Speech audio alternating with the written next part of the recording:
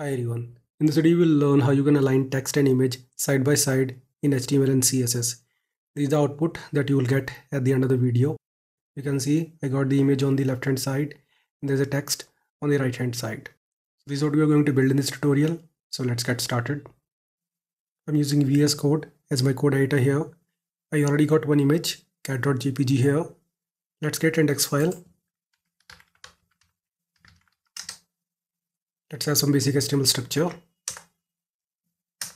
Add a link to the style sheet, which will be style.css. We need one div element here. Class will be container. Let's have the image element here. Path will be cat.jpg because it is in the same directory. So we don't need to provide any specific directory here. You can put alt text, my image, let's have one more div element here. Give it a class of text. Let's have one h1 element here. Text will be post title. Let's use paragraph element here.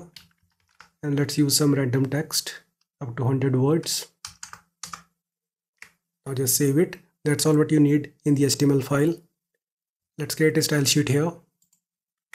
Style.css select the body element. Background color will be cornflower blue. Select the container class. Here we are going to use flexbox so display will be flex and gap will be 20 pixel. Add a padding of 5 pixels. Border will be 1 pixel solid black and give it a width of 70%. Also, because I want to center line the container, I'll use margin property here and set it to 0 and auto. Also select the image element here and give it a height of 250 pixels. Save it. Let's open this file in the browser to see the output. And that's the output. So I hope you understood how to align text and image side by side in HTML and CSS. See you the next video. Have a nice day.